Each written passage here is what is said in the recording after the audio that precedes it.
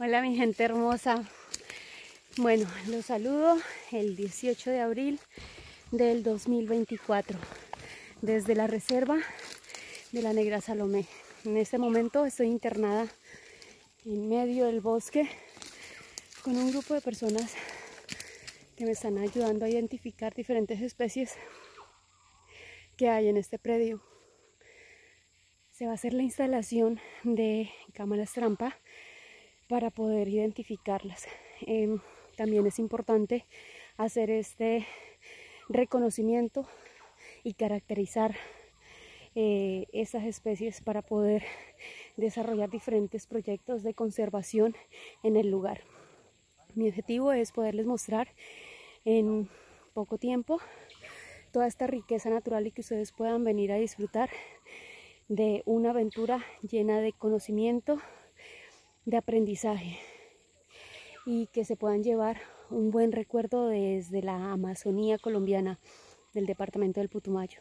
Así que aquí estoy, como pueden ver, en la montaña. Hemos tenido ciertos indicadores hasta el momento, grupo de primates, águilas, aves, árboles. Entonces, pues eh, hay unas palmas que son indicadoras de roedores, entonces pues es importantísimo porque hay diferentes senderos marcados, eh, muy marcados y pues créanme que eso da felicidad. Eh, para mí es un gusto eh, próximamente invitarlos a conocer este proyecto. Vea, me facilitan un radio porque me estoy distrayendo mucho y me estoy apartando del grupo. Entonces para evitar alguna, algún incidente, pues con equipo en mano. Si no me come el tigre. bueno, les cuento que acabamos de hacer la instalación de la cámara trampa. Bueno, yo no la hice, la hizo Jimena, ¿cierto? Cuéntanos, Jimena, un poco sobre el proceso de la instalación de esta cámara. Hola. La cámara tiene un sensor de movimiento y eh, se puede decir pues también como un detector de calor que es este de aquí. Ella va a quedar grabando 24 horas, pues no grabando directamente, sino que cuando pasa el animal, ella automáticamente enciende su sensor y empieza a grabar. Empieza con un conteo de 10 segundos y va a tomar una foto y un video. Un video. El video dura aproximadamente 20 segundos y su intervalo entre tomar la foto es de 3 segundos. Vamos a dejarla aquí aproximadamente 6, 7, 8, hasta 10 días, porque son especies pequeñas. No se sabe si van a salir chigüiros, guaras, borugas, armadillos o hasta cerrillos posiblemente. Ok, bueno, esperamos identificar algunas especies que pasen por este sendero y pues para mí es de verdad importantísimo caracterizar estas especies que están en el predio. Eh, gracias Jimena por su conocimiento y su acompañamiento en este recorrido. Okay. Oh, bueno, bueno, entonces mi gente hermosa, dejamos esta cámara. Mire, obviamente eh, tenemos un punto de ubicación con el GPS para luego venir y recoger la cámara. Espero poder identificar diferentes especies.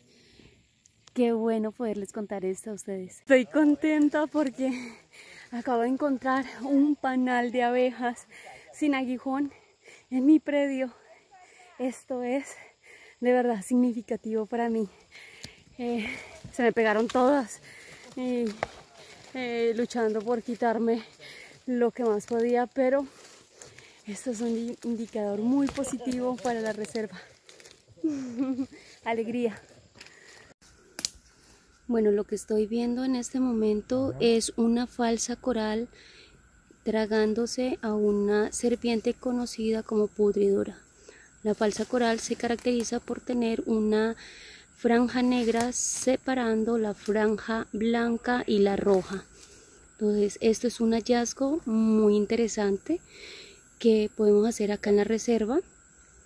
Este proceso puede tardar demasiado tiempo y esto es algo que definitivamente es interesante de ver. Muchos indicadores que me dan la presencia de, de animales eh, como espérame que por allá está un perrito que anda silbando. Y don Johnny me dice que hay sendero de jaguar. O sea es magnífico tener esa noticia. Don Johnny es una persona conocedora de una experiencia amplia en en el reconocimiento de senderos de jaguares. Y esto es para mí una dicha, es muy, muy interesante.